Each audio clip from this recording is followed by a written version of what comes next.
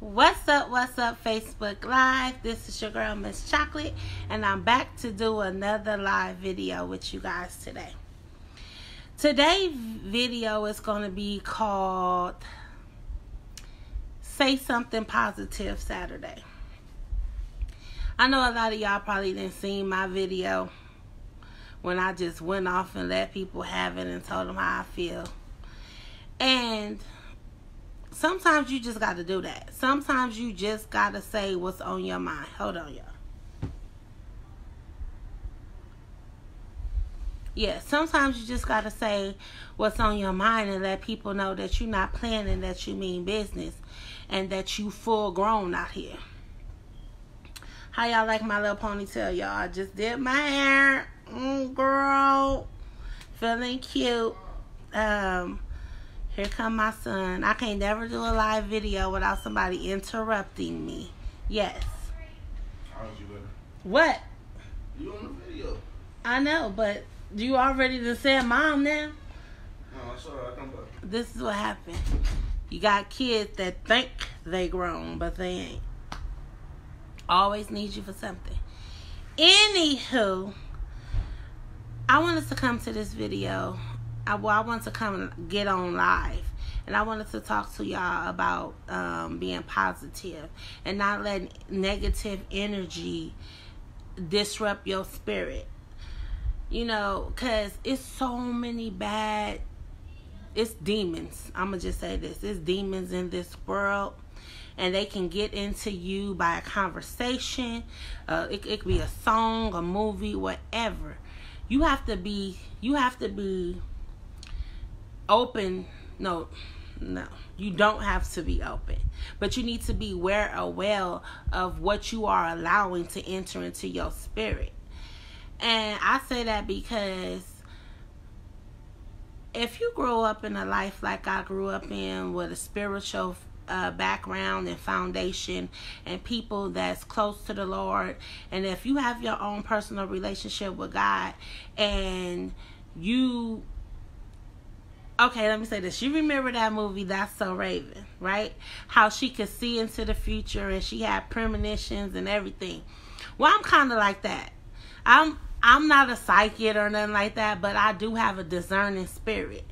And I used to be mad like oh my God, God, why you bless me with this spirit? Why you give me these abilities? Like, cause my mom is like the worstest person ever to put a curse on you. When she say something, she mean it. If you deviate from what she said, something bad always happen. So when I was a kid, I used to say, I want to be nothing like my mama. She uh she always cursing people with her with her thoughts and everything. But it's not that she was cursing people. It's just God selected a certain few and gave them this gift. And when you are a gifted person and you have these talents, these supernatural talents, and you don't use them, that's why it's always hard in your life. This is why you always struggle. See, when you find out what your purpose is and you walk in your purpose, life will go so much smoother. And I'm 37 years old. And I'm just learning what walking in my purpose is. And I know I always say I've been grown a long time. I haven't been grown a long time. Just because you live on your own and you pay your bills and you got kids, don't necessarily mean that you grown. It just means that you handling your business, you know, that like you should as an adult. But mentally, when you become grown, everything is different. Everything that you ever knew as a child, everything you believed in, everything you thought to be right, all starts to turn like, mm, I wonder if this is the truth. I wonder if I've been living a lie my whole life. When you when you start to do research and search out things for yourself, even the Bible say, you know, you gotta search the kingdom and all its righteousness, you know, for yourself. And people get mad at me when I say, I can't tell you what your God can do for you, but I know what my God do for me. And they be looking at me like, "Well, what type of God you serve?" Because you you you talking like you serve some other type of God, and it's only one God. There is only one God. That's let's make that clear right now. There is only one God, and everybody should serve this one God. He is a jealous God. But the reason why I say I can't tell you what your God do for you because we all are created in his image, but we all are individuals. We it's just like a fingerprint. No two fingerprints are the same, even on the identical twin. And I said that because nobody's relationship with God is going to ever be the same. We argue all the time in my family. We read the Bible, and everybody's perception and understanding of the Bible in one passage or one story is different. You may not get, we can read the same story in the Bible, but you may get a total different understanding. A total different understanding. And then we be arguing back and forth like, no, you wrong. No, I'm right. No, you wrong. It's not who's wrong or right. It's just whatever understanding God created you to have is what it is. So this is why I be like, I know what my God gonna do for me because my God ain't gonna do for me what He gonna do for you, or it's a total different love connection. You know, all one God. Let's make that clear, but it's a different relationship, a different understanding, a different je ne sais quoi that people possess, you know? And it's just it's just like when you get grown and you realize like what life is about and what your purpose is and your destiny and what you want in life things just become so much clearer it's like you know how they say i can see clearly now that the rain is gone. It take people a lifetime to get the rain out. I am just now getting to the point where I can see my pot of gold at the end of my rainbow. At the end of my storm. And when you get to that point in your life, things just make so much more sense. It's not about who you allow in your life it's not about what you do in your life. It's about you being certain on who you are. And you being able to weed out the good or weed out the bad. Now, it's going to be days that come along where you ain't too sure about what's going on in your life. It's going to be so many days where you be like, I just want to give up because ain't nothing perfect. Life is what it is. God gave you your life and it's your job when I say your job to find your purpose and walk in it, that's your job. He gave us our free will. I know I talk about this free will because our own free will is what prosecutes us. It's what keep us down because we don't realize as a person that the decisions we make do affect our future and the people around us. So today I came on here just to tell y'all a little bit of that and to show y'all that it's not bad walking in your purpose. It's not bad following some of the rules that God set for for us to um, live by. And then it's not also bad to find out spiritually what road you want to take. Everything in this life ain't always what it seems all these stories and all this Bible tells and everything that we know and that we grew up to know, we don't know if it's true. It sounds good.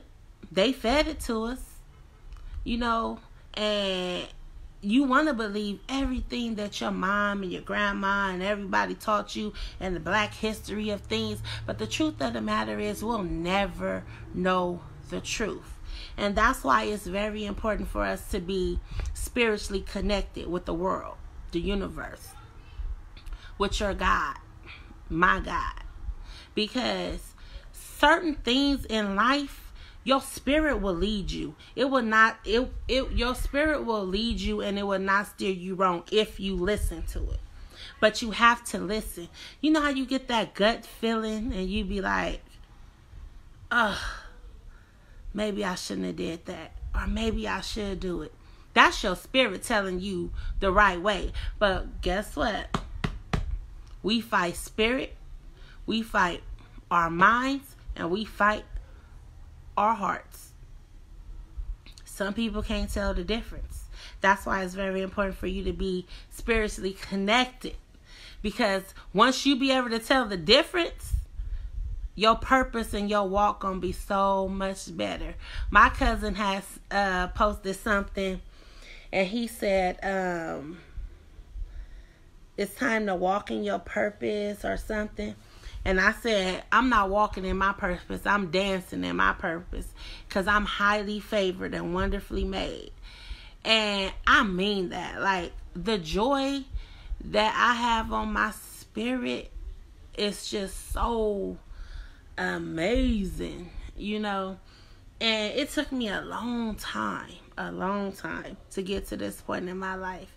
It took me a long time to just be like, I'm in charge of making me happy. And if I'm sad, it's because I let myself be sad. Can't nobody, and I repeat, nobody in this world, on this earth, should bring your self esteem down because it's called self esteem, people. Esteem, it's an esteem of your freaking self. Okay? An esteem of you. You cannot listen, you came in this world by yourself. You gonna leave this world by yourself. I mean, besides if you were twin, you was born together, whatever, whatever. But you know what I mean. So stop waiting on people to validate how you how you supposed to feel. Stop waiting on people to tell you what your life should be or your dreams or whatever. Get in contact and connection with you, baby.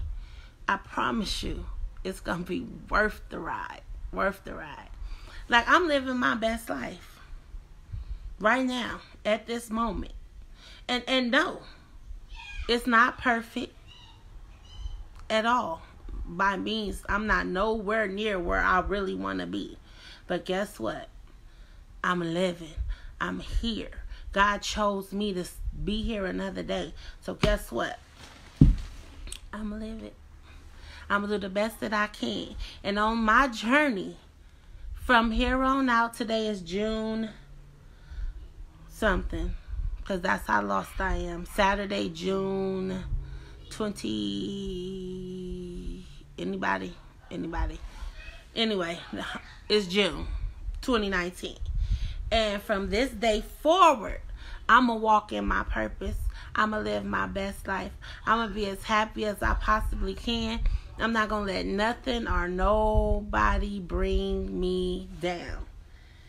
And that's what I'm going to do.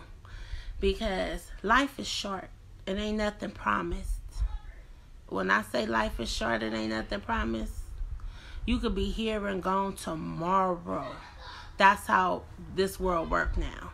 So enjoy your life. And just remember when you think things are bad and you think, oh my God, I can't go no further. I'm just, I'm finna die. I'm finna quit.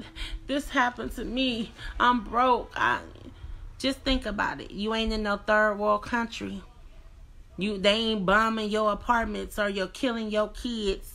You, you you got running water. You can get up and go to McDonald's and get you some uh fast food or cook on your stove or whatever the case may be. Just when you think it's bad, it's not that bad. Cause somebody always got it worse.